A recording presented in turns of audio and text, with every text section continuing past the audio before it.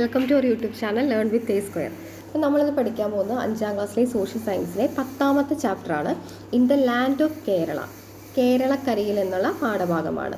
Kerala is well endowed with natural beauty hills rivers back waters coast line diverse plant and animal life and moderate climate are the special feature of Kerala അപ്പം നമുക്കറിയാം പ്രകൃതി സൗന്ദര്യത്താൽ അനുഗ്രഹീതമായ നാടാണ് നമ്മുടെ കേരളം അല്ലേ? Hills കുന്നുകളും അതുപോലെ തന്നെ റിവേഴ്സ് അല്ലേ? നദികൾ ബാക്ക് വാട്ടർ കായലുകൾ കടൽ തീരം അതുപോലെ തന്നെ വൈവിധ്യമാർന്ന സസ്യ ജന്തുജാലങ്ങളും മിതമായ കാലാവസ്ഥയും എല്ലാം നമ്മുടെ കേരളത്തിന്റെ സവിശേഷതയാണ്. Read these lines of Shri S K Pottekkatt and eminent writer describing the beauty of Kerala അതായത് പ്രശസ്ത സാഹിത്യകാരനായ ശ്രീ എസ് കെ പൊറ്റക്കാട് കേരളത്തെക്കുറിച്ച് വർണിച്ചിരിക്കുന്നത് നോക്കാനാണ് ഇവിടെ പറഞ്ഞിരിക്കുന്നത്. കേരളമേ നിന്റെ യോമന പേർ കേൾക്കെ കോൾമയിർ കൊള്ളുന്നുള്ളവെന്നും നീരാളി പച്ച വിരിച്ച വയലുകൾ നീളെ കിടക്കുമ്പോൾ നാടുകളും വാരിളം പുല്ലണി കുന്നിൻ പുറങ്ങളും നേരറ്റ നീലറൽ പൊയ്കകളും പൂത്തിരി കത്തിച്ച പാതിരാവും പിന്നെ പൂത്തിരുവാതിര പൂനിലാവും. അപ്പോൾ കേരള കേരളത്തെക്കുറിച്ച് ഇവിടെ വർണിച്ചിരിക്കുന്നതാണ് ഈ കാണിച്ചിരിക്കുന്നത്. അതായത് എസ് കെ പൊറ്റക്കാടാണ് കേരളത്തെക്കുറിച്ച് വർണിച്ചിരിക്കുന്നത്. ഇനി don't you wish to know more about our beautiful state അത് നിങ്ങൾക്ക് നമ്മുടെ സംസ്ഥാനത്തെക്കുറിച്ച് കൂടുതലായിട്ടുള്ള കാര്യങ്ങളെല്ലാം അറിയണ്ടേന്നാണ് ചോദിച്ചിരിക്കുന്നത്. ഇന്ത്യയുടെ തെക്കേ അറ്റത്തായി കിഴക്ക് പശ്ചിമഘട്ടത്തിനും പടിഞ്ഞാറ് അറബിക്കടലിനും ഇടയിൽ സ്ഥിതി ചെയ്യുന്ന ഭൂപ്രദേശമാണ് നമ്മുടെ കേരളം. അതായത് കേരള എന്ന് പറയുന്നത് is located in the southern part of India between the Western Ghat in the east and Arabic sea in the west അതായത് കേരളം എന്ന് പറയുന്നത് എവിടെയാണ്? Located in the southern part of India അത് ഇന്ത്യയുടെ തെക്കേ അറ്റത്തായിട്ട് സ്ഥിതി ചെയ്യുന്നു. അതുപോലെ തന്നെ എവിടെയാണ്? Between Western Ghats in the east and Arabian sea in the west അപ്പോൾ ഇന്ത്യയുടെ തെക്കേ അറ്റത്ത് കിഴക്ക് പശ്ചിമഘട്ടത്തിനും അതുപോലെ തന്നെ പടിഞ്ഞാറ് അറബിക്കടലിനും ഇടയിൽ സ്ഥിതി ചെയ്യുന്ന ഭൂപ്രദേശമാണ് കേരള സംസ്ഥാനം. കണ്ടോ? കേരള സംസ്ഥാനം ഇതിന്റെ കേരളത്തിന്റെ ഒരു മാപ്പ് തന്നിട്ടുണ്ട്. അതിനകത്ത് പതിനാല് ഡിസ്ട്രിക്റ്റുകൾ കൊടുത്തിട്ടുണ്ട്. കർണാടകവും തമിഴ്നാടും കണ്ടല്ലോ. അതുപോലെ തന്നെ ലക്ഷദ്വീപ് കാണാം. ആ അപ്പം കേരളത്തിന്റെ മാപ്പ് നിങ്ങളെല്ലാവരും കണ്ടില്ലേ? ഇനി നമുക്ക് നോക്കാം. Which are the neighbouring states of Kerala അതായത് കേരളത്തിന്റെ അയൽ സംസ്ഥാനങ്ങൾ ഏതൊക്കെയാണ് നമുക്കറിയാം. കണ്ടു അല്ലേ കർണാടക തമിഴ്നാട് ഇതൊക്കെയാണ് കേരളത്തിന്റെ അയൽ സംസ്ഥാനങ്ങൾ എത്ര ഡിസ്ട്രിക്ട്സ് ആണ് കേരളയിലുള്ളത്? എത്ര ഉണ്ട്? പതിനാല് ഡിസ്ട്രിക്റ്റ് ഉണ്ട്. അതുപോലെ തന്നെ സ്മോളസ്റ്റ് ഡിസ്ട്രിക്റ്റ് ഏതാണ്? ആലപ്പുഴയാണ് അല്ലേ അതുപോലെ അതായത് കടൽ തീരമില്ലാത്ത കോസ്റ്റൽ ലൈൻ ഇല്ലാത്ത ഡിസ്ട്രിക്റ്റുകൾ ഏതൊക്കെയാണ്? നമുക്കറിയാം അല്ലേ ഇടുക്കിയുണ്ട് വയനാടുണ്ട് ഇതൊക്കെ കോസ്റ്റൽ ലൈൻ ഇല്ലാത്ത ഡിസ്ട്രിക്റ്റുകളാണ് prepare more questions based on this map write down the answers in your notebook a quiz programme may be conducted in your class with the questions you have prepared അതായത് ഇതുപോലെ നിങ്ങൾ കുറേ ചോദ്യങ്ങൾ കേരളത്തെക്കുറിച്ച് തയ്യാറാക്കാനാണ് ഇവിടെ പറഞ്ഞിരിക്കുന്നത്. എന്നിട്ട് നിങ്ങളുടെ ക്ലാസ്സിൽ ഒരു ക്യൂസ് പ്രോഗ്രാം കണ്ടക്ട് ചെയ്യാനാണ് ഇവിടെ പറഞ്ഞേക്കുന്നത് കേട്ടോ. ഇനി ഭൂപ്രകൃതി ഫിസിയോഗ്രഫി ഫിസിയോഗ്രഫി എന്ന് വെച്ചാൽ എന്താണ്? ഭൂപ്രകൃതി. The physiography of our state extend from the sandy stretches along the Arabian sea in the west through hills and valleys to the torrenting streams and lofty peaks in the east based on the elevation from the sea level physiography of Kerala can be divided into three അതായത് പടിഞ്ഞാറ് അറബിക്കടലിനോടും ചേർന്ന മണൽ നിറഞ്ഞ പ്രദേശങ്ങളിൽ തുടങ്ങി. കുന്നുകളും താഴ്വരകളും കടന്ന് കിഴക്കൻ അതിർത്തിയിൽ എത്തുമ്പോഴേക്കും കുതിച്ചു പാഞ്ഞൊഴുകുന്ന കാട്ടാറുകളും ഉയരം കൂടിയ പൊടിമുടികളും എല്ലാം ഉൾക്കൊള്ളുന്ന ഒരു വൈവിധ്യമാർന്ന ഭൂപ്രകൃതിയാണ് നമ്മുടെ കേരളത്തിലുള്ളത്. അതായത് കടൽ തീരമുണ്ട് കുന്നുകളുണ്ട് അങ്ങനെ എല്ലാം അടങ്ങുന്നതാണ് നമ്മുടെ കേരളം. സമുദ്രനിരപ്പിൽ നിന്നും ഉയരത്തെ അടിസ്ഥാനമാക്കിയാണ് കേരളത്തെ നമ്മളിപ്പോൾ മൂന്നായിട്ട് തിരിച്ചിരിക്കുന്നത്. അതെങ്ങനെയാണെന്ന് നമുക്ക് നോക്കാം. ഇപ്പോൾ ഫിസിയോഗ്രഫിക്കൽ ഡിവിഷൻ ഓഫ് കേരള എങ്ങനെയാണ്? Highland midland lowland അപ്പോൾ നമ്മുടെ കേരളത്തെ എങ്ങനെയാണ് തിരിച്ചിരിക്കുന്നത്? ഹൈലാൻഡ് മലനാട് മിഡ് ലാൻഡ് ഇടനാട് പിന്നെ ലോ ലാൻഡ് എന്ന് പറയുമ്പോൾ എന്താ? തീരപ്രദേശം. അങ്ങനെയാണ് നമ്മുടെ കേരളത്തെ മൂന്നായിട്ട് തിരിച്ചിരിക്കുന്നത്. ഇനി നമുക്ക് ഹൈലാൻഡ് നോക്കാം. ഹൈലാൻഡ് ഇവിടെ കണ്ടോ? വീണ്ടും കേരളത്തിന്റെ ഒരു മാപ്പ് തന്നിട്ടുണ്ട്. അപ്പോൾ ഹൈലാൻഡ് എന്ന് പറയുന്നതാണ് റെഡ് കളറിൽ കൊടുത്തേക്കുന്നത് കേട്ടോ. ഇടനാട് അല്ലെങ്കിൽ മിഡ്ലാൻഡ് എന്ന് പറയുന്നതാണ് ഗ്രീൻ കളറിലും പിന്നെ അതുപോലെ ഈ യെല്ലോ കളറിൽ കൊടുത്തേക്കുന്നതാണ് കോസ്റ്റൽ ലാൻഡ് അല്ലേ? അതായത് ലോ ലാൻഡ് തീരപ്രദേശം എന്നൊക്കെ പറയുന്നത്. ഇനി നമുക്ക് നോക്കാം.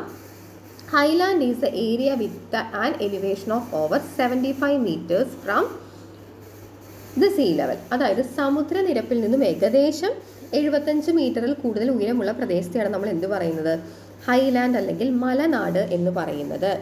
എത്രയാണ്? എഴുപത്തഞ്ച് മീറ്ററിൽ കൂടുതലുള്ളതിനെ. എവിടെ നിന്ന്?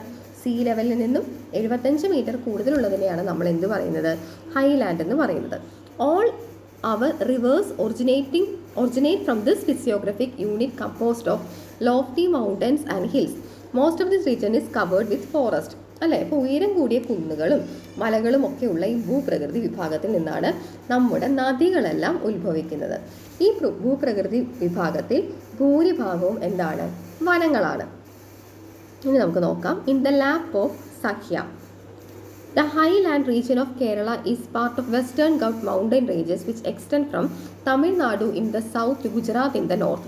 The western Ghat is the abode of a wide variety of animals including tiger and leopard, different type of birds and butterflies, reptiles like king cobra and rare species like the Nilgiri tar and the lion-tailed macaque അതായത് ഇവിടെ പറഞ്ഞിരിക്കുന്നത് എന്താണെന്ന് വെച്ചാൽ തെക്ക് തമിഴ്നാട് മുതൽ വടക്ക് ഗുജറാത്ത് വരെ വ്യാപിച്ചു കിടക്കുന്ന പശ്ചിമഘട്ട മലനിരയുടെ ഭാഗമാണ് എന്ത് കേരളത്തിന്റെ മലനാടെന്ന് പറയുന്നത് കടുവ പുലി വരയാട് സിംഹവാലൻ കുരങ്ങ് എന്നിവയും രാജവെമ്പാല ഉൾപ്പെടെ പലതരം പാമ്പുകൾ അതുപോലെ നിരവധി പക്ഷികൾ ചിത്രശലഭങ്ങൾ ഇതുപോലെയുള്ള ജീവികളെല്ലാം എവിടെയുണ്ട്? നമ്മുടെ പശ്ചിമഘട്ടത്തിൽ ഉണ്ട്. The western The region is also home to home such as such wood rosewood, wood sandalwood, red sandalwood and orchids of different kind. അതായത് അവിടെ എന്തൊക്കെയുണ്ട്? ഈട്ടി അകിൽ ചന്ദനം രക്തചന്ദനം ഇതുപോലുള്ള മരങ്ങളും അതിൽ പലതരത്തിലുള്ള ഓർക്കിഡുകളൊക്കെ ഈ പശ്ചിമഘട്ട മേഖലയിലുണ്ട്. ഇനി this region is also known as a Sahyadri mountain range അപ്പോൾ ഈ പ്രദേശത്തെ നമുക്ക് എന്ത് പറയാം? സഖ്യപർവത നിര എന്നും ഇതിനെ നമുക്ക് പറയാം അല്ലേ? സഖ്യാദ്രി മൗണ്ടൻ റേഞ്ച് എന്നുള്ളൊരു പേര് ഇതിനുണ്ട്. പിന്നെ collect the pictures of the flora and fauna in the Western Ghats from the internet and prepare a digital album in the computer of the social science lab ഇവിടെ പറഞ്ഞേക്കുന്നത് എന്താ? പശ്ചിമഘട്ടത്തിൽ നിന്ന് ഉള്ള അവിടുത്തെ ജീവികളുടെയും അതുപോലെ തന്നെ ചിത്രങ്ങളും ഒക്കെ ഇന്റർനെറ്റിൽ നിന്ന് കളക്ട് ചെയ്തിട്ട് നിങ്ങളുടെ ശാസ്ത്ര ലാബിലെ കമ്പ്യൂട്ടർ ഡിജിറ്റൽ ആൽബം തയ്യാറാക്കാനാണ് പറഞ്ഞിരിക്കുന്നത്. ഇനി സൈഡിലെ കോളം നോക്കിക്കേ. In the valley of silence അതായത് നിശബ്ദതയുടെ താഴ്വരയിൽ. Silent Valley is a forest track in the Western Ghat region of Mannarkkad താലൂക്കിന്റെ Palakkad district അത് പാലക്കാടിലുള്ള മണ്ണാർക്കാട് താലൂക്കിലാണ് സൈലന്റ് വാലി സ്ഥിതി ചെയ്യുന്നത്. Silent Valley owes its name to the perceived absence of noisy cicada this forest is a habitat of several plants and animal species including the endangered lion tailed macaque അതായത് മെസാക്യു അതായത് ഇവിടെ പറഞ്ഞിരിക്കുന്നത് എന്താണെന്ന് വെച്ചിട്ടുണ്ടെങ്കിൽ ഈ silent Valley ഉണ്ടല്ലോ. Silent വാലിക്ക് പേര് വരാനുള്ള കാരണം എന്താണെന്നറിയോ? കാരണം എന്ന് വെച്ചിട്ടുണ്ടെങ്കിൽ ചീവീടുകൾ ഇവിടെ അപൂർവമായി മാത്രമാണ് കാണുന്നത്. ചീവീടുകൾ ഇല്ല. അതുകൊണ്ടാണ് സൈലന്റ് വാലിക്ക് നിശബ്ദ താഴ്വര എന്നുള്ളൊരു പേര് വരാനായിട്ടുള്ള കാരണം. വംശനാശ ഭീഷണി നേരിടുന്ന സിംഹവാലൻ കുരങ്ങുകൾ ഉൾപ്പെടെ നിരവധി സസ്യജന്തുജാലങ്ങളുടെ ആവാസ കേന്ദ്രം കൂടിയാണ് ഈ പറയുന്ന സൈലന്റ് വാലി എന്ന് പറയുന്നത്. ഓക്കെ. മനസ്സിലായല്ലോ? അപ്പം നിങ്ങൾക്ക് ഹൈലാൻഡ് മനസ്സിലായില്ലേ? അതിനകത്ത് നമ്മൾ സൈലന്റ് വാലി പറഞ്ഞു. പിന്നെ അവിടെ കാണുന്നത് എന്തൊക്കെ തരത്തിലുള്ള മരങ്ങളാണ് ഏതൊക്കെ മൃഗങ്ങളാണ് സൈലന്റ് വാലിയിലുള്ളതെന്നൊക്കെ നമ്മൾ പറഞ്ഞു. ഇനി അടുത്താണ് midland. The midland includes areas lying between an elevation of seven point five metres and seventy five metres above the sea level നമ്മളിപ്പോൾ സീ ലെവലിലെ വെച്ചിട്ടാണല്ലോ നമ്മൾ മൂന്നായിട്ട് ഡിവൈഡ് ചെയ്തിരിക്കുന്നത് ഇപ്പോൾ സമുദ്രനിരപ്പിൽ നിന്നും ഏഴ് പോയിന്റ് അഞ്ച് മീറ്റർ മുതൽ എഴുപത്തഞ്ച് മീറ്റർ വരെ ഉയരമുള്ള ഭൂപ്രദേശങ്ങൾ ഉൾപ്പെടുന്നതാണ് ഇടനാട്. The midland zone consist of small hills valleys and river river basins അതായത് ചെറിയ കുന്നുകളും താഴ്വരകളും നദീതടങ്ങളും എല്ലാം ചേർന്നതാണ് എന്ത്? ഇടനാടെന്ന് പറയുന്നത്.